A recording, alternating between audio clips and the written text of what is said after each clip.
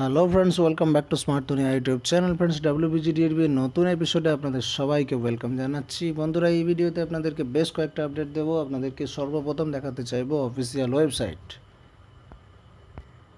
আপনারা দেখতে পাচ্ছেন, আমি অনস্ক্রিনে খুলে নিয়েছি triple W dot W B TETSD dot gov dot in আপনারা এটা খুলবেন W B TETSD dot gov dot in official ওয়েবসাইটটা খোলার পর এখানে আসবেন। এখানে এসে দেখবেন নোটিশ বোর্ড আছে।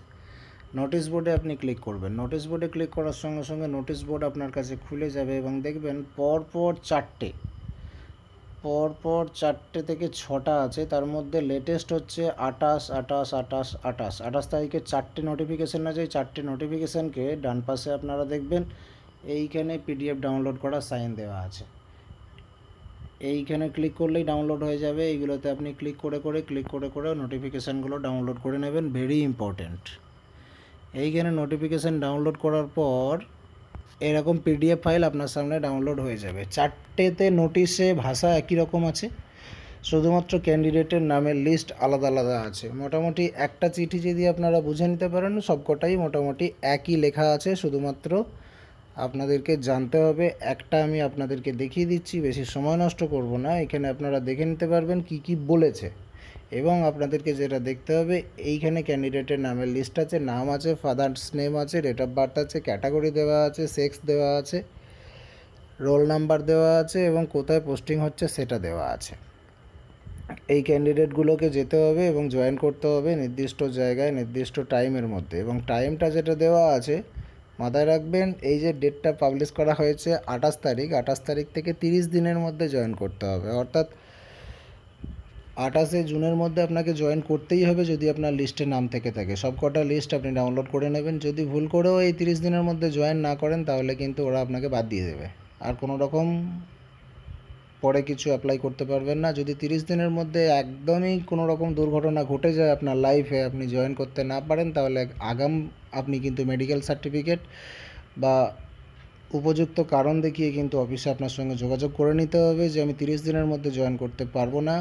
অমুক কারণে, তমুক কারণে সেই কারণটা কিন্তু আপনাকে অবগত করতে হবে প্রমাণ সহ না হলে কিন্তু এই যে ডাব্লিউবি টিইটিএসডি আছে না টেকনিক্যাল এডুকেশন ডিপার্টমেন্ট তারা কিন্তু পারের কাছে তথ্য পাঠিয়ে দেবে যে এই ক্যান্ডিডেট জয়েন করতে চায় না। তখন কিন্তু আপনার চাকরিটা হাতছাড়া হয়ে যেতে পারে। সো বি কেয়ারফুল এক মাসের মধ্যে অবশ্যই জয়েন করতে হবে। তাছাড়া আরও অনেক কথা বলা আছে। যেমন দেখুন the following seventeen candidates are hereby appointed in the group D post. Temporary বেসিসে জয়েন করবে to the institutes under directorate of industrial training under the administrative control of technical education, training and skill development department, Karigari Bhavan, third floor, plot number B seven, action area three, New Town, Rajarhat, Kolkata.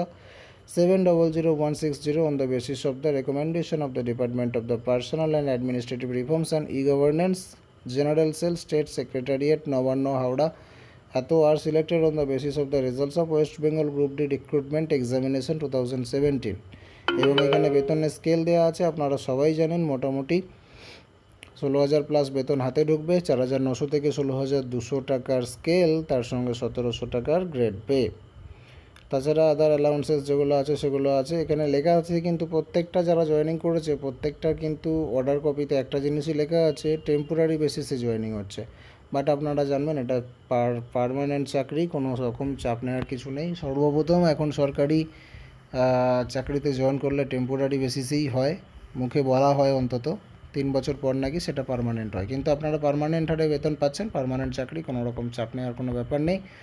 The services of following candidates are placed at the disposal of the institutes under the Directorate of Industrial Training mentioned against their name, against their existing vacancies in the directorate as mentioned. এগুলো বিশেষ কিছু জানার আপনাদের দরকার নেই।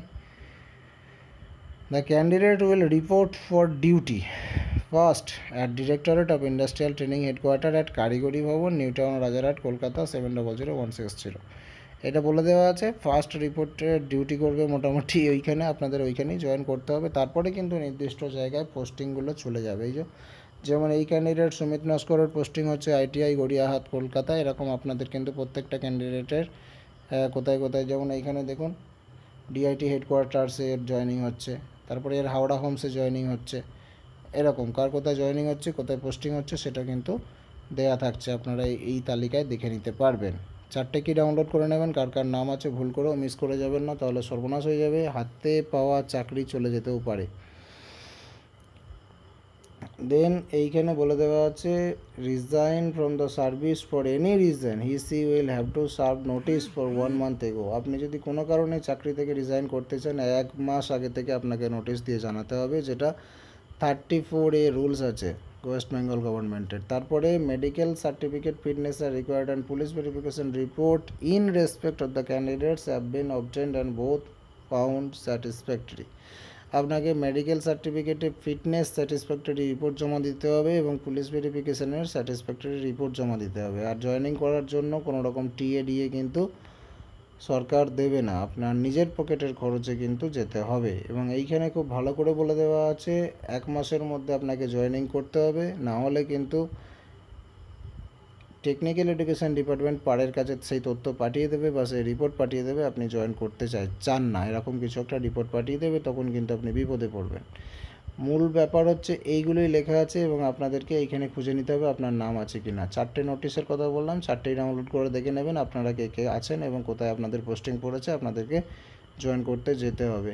চিঠিতে মোটামুটি এই কটা জিনিসই বলা আছে এবং সব কটা চিঠিতে একই কথা বলা আছে। ভিডিওটা এখানেই শেষ করব। আপনাদের কমেন্টের জন্য অপেক্ষা করছি। পরবর্তী একটা স্পেশাল ভিডিও বড় করে তৈরি করব, যেখানে আপনাদের সমস্ত প্রশ্নের উত্তর থাকবে।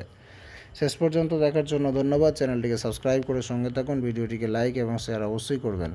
ফিরে আসছি পরের ভিডিওতে।